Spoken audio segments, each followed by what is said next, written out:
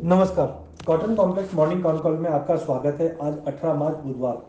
पिछले कुछ दिनों से हमने देखा है कॉटन कॉम्प्लेक्स में भी भारी उतार चढ़ाव के साथ मार्केट ट्रेड करते हुए दिखाई दे रहे हैं।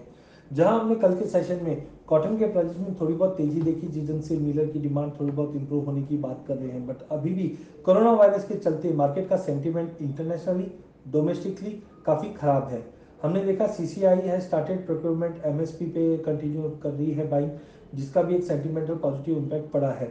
बट ओवरऑल जिस ढंग से इंटरनेशनल कॉटन एडवाइजरी कमेटी ने एक्सपेक्ट किया है कि ग्लोबल प्राइजेस ऑफ़ कॉटन बढ़ने चाहिए, क्योंकि लोअर एंडिंग स्टॉक है 19-20 का, जिसके चलते मार्केट में तेज़ी आनी चाहिए। बट अभी भी कोरोना वायरस की वजह से ग्लोबल ट्रेड और वर्ल्ड इकोनॉमी इंपैक्टेड है। अटकलें लगाई जा रही है कि रिसेशन में भी पूरी वर्ल्ड इकोनॉमी जा सकती है, जिसके चलते मार्केट में कोई बड़े बायर्स अवेलेबल नहीं है।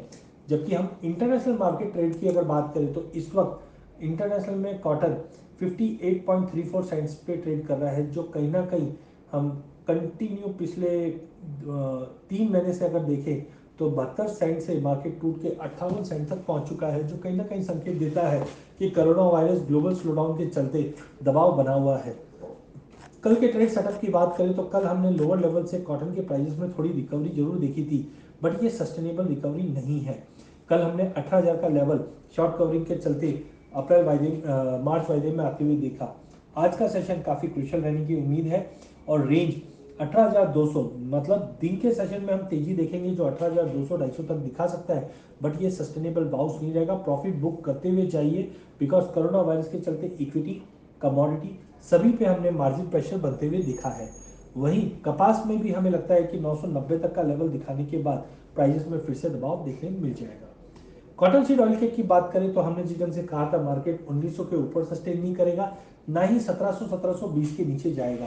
कल के सेशन में हमने भारी गिरावट ज़रूर देखी बट प्राइजेस 1725 पे जाके क्लोज होते हुए दिखाई दिए। आज के सेशन में 1700 का लेवल काफ़ी क्रुशियल है। 1690 के स्टॉप लॉस से 1730 के करीब लेके चलिए। 1770 से लेके 1800 1810 तक के भी लेवल हम कॉटन खल में देख सकते हैं। ये भाव 1700 1750 के लेवल पे भाव काफ़ी अच्छे हैं लेके रखने के लिए बट सेंटीमेंट मार्केट में खराब होने के चलते हर उछाले पे एक बार प्रॉफिट बुक करते हुए चलिए या अपनी आधी पोजीशन निकालते हुए चलिए बिकॉज़ मार्केट में मार्जिन कॉल बढ़ चुके हैं।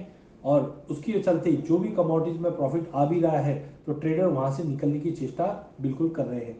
तो आज के लिए 1690 का इंपॉर्टेंट सपोर्ट रहेगा कॉटन सीड अप्रैल वायदे में। और अपसाइड में अगर सत्रह पिचासी का लेवल तोड़ता है तो हम 1810 तक का लेवल देख सकते हैं बट सस्टेन नहीं करेंगे।